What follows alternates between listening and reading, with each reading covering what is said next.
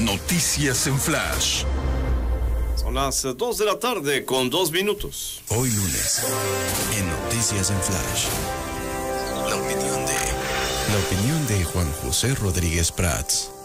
Como cada lunes arrancamos escuchando su comentario a la mitad del programa. ¿A qué se referirá hoy, licenciado? Buenas tardes.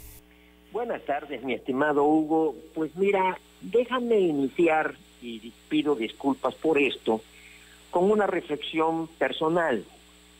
Eh, yo desde hace muchos años, desde inclusive que era yo priista siendo diputado en 1992, he defendido la reforma al sector de energía, consciente de que se requiere inversión privada, consciente que el Estado mexicano hace mal cuando se mete como empresario, no sabe hacer negocios. Si difícilmente cumple otorgando servicios, pues más cuando se mete a una tarea que no tiene el incentivo fundamental que es obtener utilidades. Y digo esto porque ya recibí alguna señal y pueden venir eh, ataques en cuanto a que pudiera yo tener algún interés. Quiero decirte que esto lo discutí muchísimo con el presidente de la República. Desde entonces yo he sostenido que era necesario quitar al sector de energía como área estratégica y exclusiva del Estado. Y me remito, por eso pido disculpas, a lo que dice de mí el licenciado López Obrador en su libro Entre la historia y la esperanza, páginas 154 y 155, cuando él escribe que creía que mi candidatura obedecía al propósito de restarle votos. Y ahí afirma, y leo literalmente, Juan José fue un candidato verdaderamente independiente, preparado y buen polemista pero lo principal es que actuó con una gran integridad. Esto quiero que quede muy claro, Hugo, porque el debate va a venir intenso y estoy fijando mi posición porque creo que es benéfico para México, no porque yo busco un beneficio personal. Segunda reflexión. Hace ya algún tiempo leí un texto que me atrajo, porque irónicamente se decía que en el infierno están los peores profesionistas para mayor tortura de los que ahí están pagando sus pecados. Por lo tanto, los toreros son suecos, los periodistas son rusos, los cocineros son ingleses, los ingleses tienen mala fama en cuanto a ser cocineros, los policías son españoles, los militares son italianos y los políticos son latinoamericanos o mexicanos para ser más específicos. Y efectivamente creo que los políticos hemos dejado mucho que desear. Por eso una de las tareas más importantes es enaltecer la cultura política y hacer mejor política, que es lo que requiere este país, sobre todo en medio de la más profunda crisis de que se tenga memoria en toda su historia. Tercero, yo inicié mi carrera política con un grito allá en Jalapa, Veracruz, la imaginación al poder es una frase, es un pensamiento que surgió del movimiento en Francia y me agradaba mucho. O sea, al llegar al poder necesitamos creatividad, necesitamos estimular nuestro pensamiento para empezar a buscar cuáles pueden ser las soluciones. Después de más de 50 años de vida política, diría yo que la frase debe ser la memoria al poder. ¿Qué es lo que funciona y qué es lo que no funciona? La memoria nos recuerda nuestros deberes. La memoria nos hace hacer un balance de lo que ha hecho el hombre intentando organizarse en sociedad, que eso es la política, organizar la sociedad para buscar el bien común. Y es evidente que cuando el Estado se ha metido en áreas que no le corresponden a su vocación de otorgar servicios de propiciar las condiciones para que los particulares hagan su tarea, entonces va al fracaso cuando invade esas esferas. Y este es el caso. Precisamente este es el caso. Por eso yo creo que la reforma que se hizo y que se intentó desde el presidente Cedillo y que cuando fue presidente Calderón hizo una iniciativa en donde se hablaba inclusive de inversión privada en los ductos para trasladar los hidrocarburos. PRD y PRI se negaron. Yo invitaría al auditorio a que reflexionemos si hubiera habido inversión privada en los ductos y hoy fueran los particulares los que hicieran el traslado. Estoy convencido que hubiera menos robo de combustible, o sea, menos guachicoleo. El guachicoleo donde más se da es en las refinerías y en la complicidad con funcionarios del gobierno. Entonces yo estoy sumamente angustiado, Hugo, de que esta campaña en donde se esté atacando y señalando que los votos se obtuvieron por corrupción o por dádivas, frene la reforma energética. No quiero decirte que eh, pudiera haber alguna eh, anomalía en el trabajo legislativo. No soy ningún ingenuo, ni estoy interviniendo en defensa de mis compañeros de partido. Ellos lo están haciendo y creo que lo están haciendo bien, porque al final de cuentas es el, las declaraciones de una gente indiciada contra ellos que están siendo señalados. Allá ellos sí que se defiendan y si hay responsabilidad, que se castigue. Pero el problema está en que no se están creando las condiciones para que venga la inversión privada. Esto yo lo hago en una calidad de denuncia, porque si se cierra la inversión privada, entonces México se va a hundir. No tan solo se va a hundir las finanzas de la empresa Pemex o de la empresa Comisión Federal de Electricidad, se va a hundir las finanzas del Estado mexicano y se va a hundir México. Yo he consultado con profesionistas, con expertos, y rescatar a Pemex, ponerlo en condiciones más o menos estables en sus finanzas, implicaría una inversión superior a la que se hizo en el, fideicomiso de ahorro bancario, el famoso FOBAPROA, con una diferencia. Estos recursos que se invirtieron para proteger al ahorro bancario, para fortalecer el sistema financiero y bancario, lograron su propósito. O sea, no vino un quebranto y se superó la crisis allá en el 95.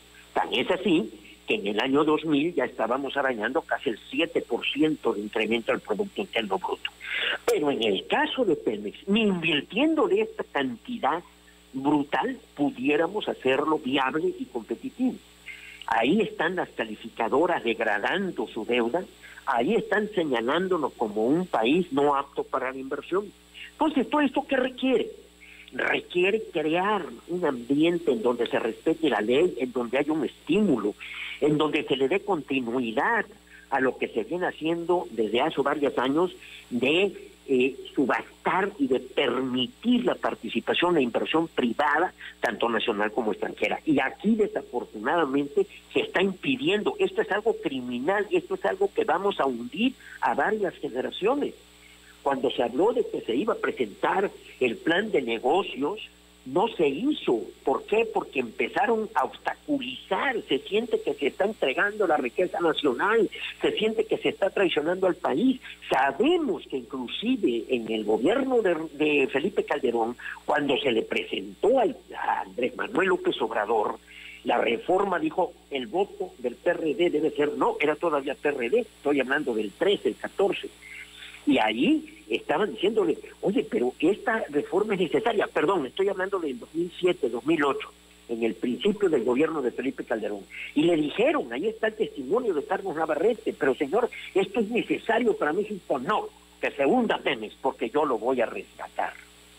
Ahí está obsesionado en que él va a rescatar y sigue invirtiéndose en obras que no van a concluir ni son eh, útiles al país y repito, esto yo lo señalo porque él ya comenzó con ese discurso. Yo no veo esta acción eh, tanto como que dañe al partido o que dañe al PAN o que dañe al PRI o que se esté pensando en la elección del año próximo. No, lo que estoy pensando es cuál es la solución hacia el futuro y si hay la posibilidad de que venga inversión frente a la contracción de la inversión pública que se está dando por obvias razones que el Estado va a limitar su ingreso y va a tener que hacer cortes muy drásticos en su presupuesto, en el gasto y en la inversión pública, pues entonces lo único que nos puede salvar y sacar de la crisis es la inversión privada, la tecnología. Entonces, cuando esta pandemia concluya, ¿qué es lo que debemos impulsar? ¿Qué queremos? ¿Más Estado o más sociedad? Yo quiero más sociedad. Yo quiero inversión privada y definitivamente de estímulo para que pueda generarse empleo para que podamos ser un país viable en lo económico. Eso fue lo que dijo inclusive el presidente de México cuando fue a reunirse con Donald Trump, que ese era el propósito de ratificar y de continuar con el Tratado de Libre Comercio.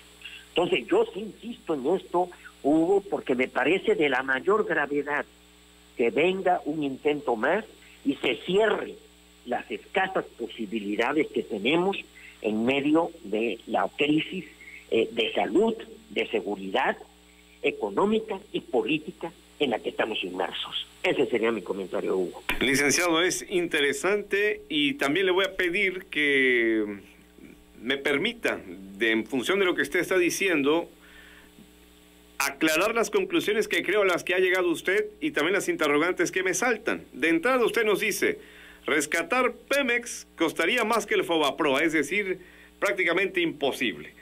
Ahora, Imposible. ¿qué sensación, yo es lo que le pregunto, le ha dejado esto de las versiones adjudicadas a los panistas por parte de los Oya? Ya me dice que, este, vamos, que va a venir el golpeteo, pero llegamos a ese punto. ¿Le duele a usted? ¿Es capaz, también aunque ya hablaba de que los actores señalados están haciendo su defensa, ¿es usted capaz de meter la mano al fuego por alguno de ellos? Caso específico, Ricardo Anaya, no, nos centremos en él. Y lo otro, en nombre del escándalo, me parece que usted cree que pueden tratar de revertir constitucionalmente la apertura del sector privado. ¿Es así? Es así. Ahora voy en las tres, porque me estás haciendo tres preguntas. La primera, efectivamente, rescatar a Pemex implicaría una inversión mayor a lo que se hizo, porque fue en el presupuesto que se consignó una partida de una deuda ya adquirida. Yo me siento orgulloso de haber participado en esos debates en 1997-98, en donde en la Cámara de Diputados consignó que esos pagarés que habían firmado vía el fideicomiso tenían el respaldo presupuestal. Si eso hubiera sido en contra, la crisis hubiera sido brutal, hubiera sido espantosa y los más perjudicados hubieran sido los 16 millones de cuentamientos. Y eso hoy está claro y se está aflorando cada vez más que esa decisión fue oportuna. Porque hoy precisamente la solución es la misma. La solución es tener que fortalecer la planta productiva. Segundo, me dice si meto la mano o no. No estoy en esas condiciones.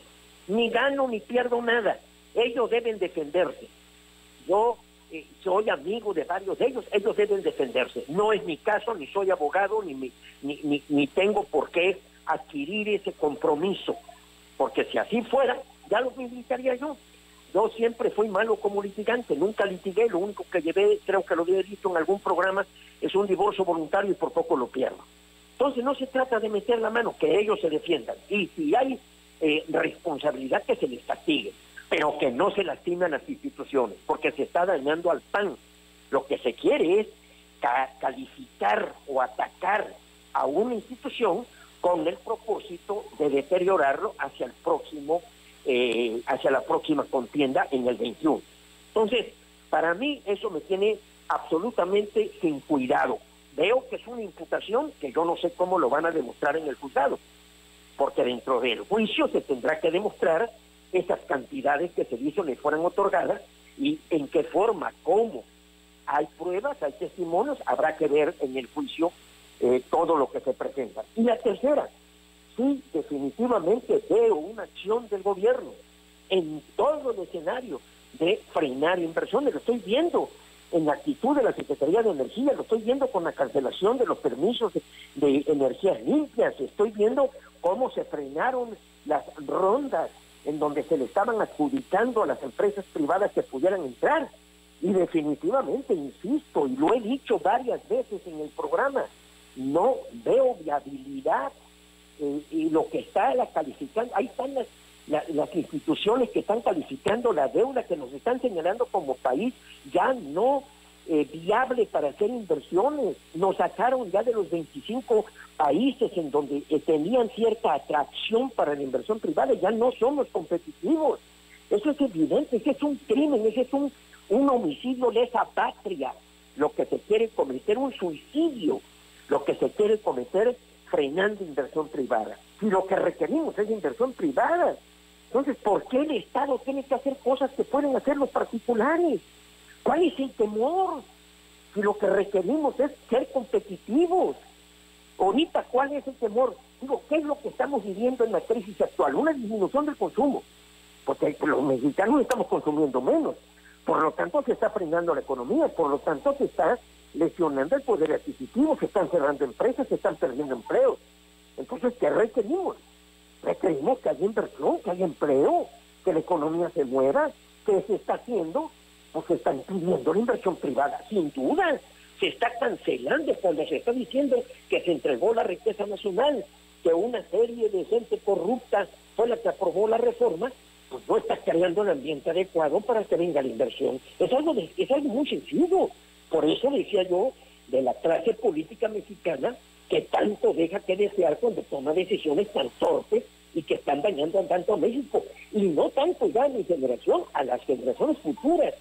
Porque Hugo, no es una crisis de este año, ya es una década perdida, lo están diciendo los economistas. No es un rebote que va a haber, como está diciendo el presidente, que vamos a rebotar y la recuperación va a venir en los próximos meses. No, esto ya no es una B chica, es una L caímos verticalmente y va a llevar varios años para recuperar.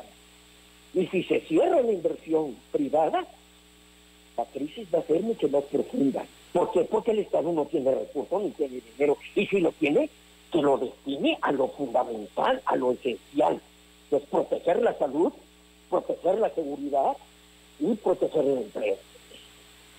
Rodríguez Prats, el tema seguramente nos dará mucho para pensar en lo subsecuente y para platicar también, así que esperemos el desarrollo de los acontecimientos. Le envío saludos.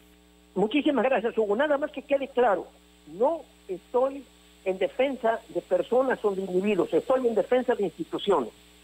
Y la institución del PAN y la institución, porque ya es una institución de la reforma de energía, no tan solo entendamos como institución lo que es un órgano o lo que es una oficina. No, también es una idea, también es una reforma jurídica. Y para mí, y repito, lo vengo haciendo desde el 92, es una reforma necesaria y útil para México. Ese sería mi último comentario. Discúlpame que me prolongué. Muchísimas gracias. Ningún problema, ya ha quedado claro. Le envío saludos, le decía. Nos escuchamos la próxima semana, Dios mediante. Vámonos a la pausa que sigue, ya son las 2 de la tarde, 20 minutos. Nos gusta y encanta la casita azul, cada vez más cerca de ti. Te gusta y encanta.